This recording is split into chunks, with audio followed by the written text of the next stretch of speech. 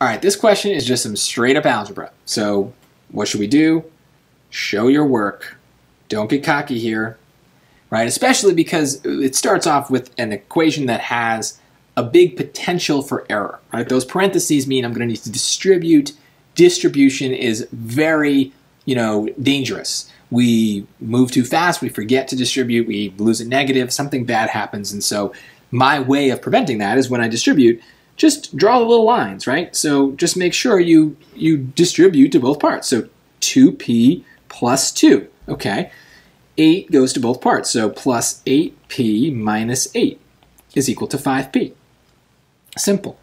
Now we got to combine like terms. Again, there's, there's danger here. We could combine in a way that, you know, we lose a negative or something. So I'm going to say 2p plus 8p is 10p. And then 2 minus 8 is negative 6. And notice I'm not touching that 5p yet.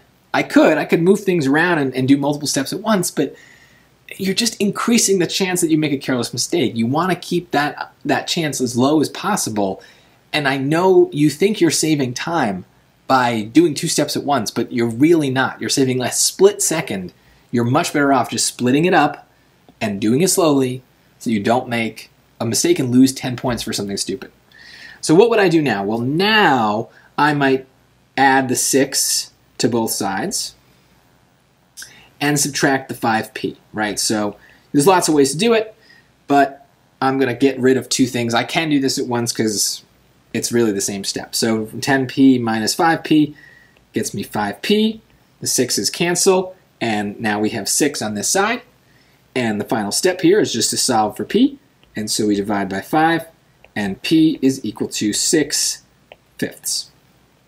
And that's the answer. We could bubble it as a decimal, but why? I mean, this is the whole point of fractions is they're easier because we don't need to do the division. So just leave it as is. 6 fifths is valid.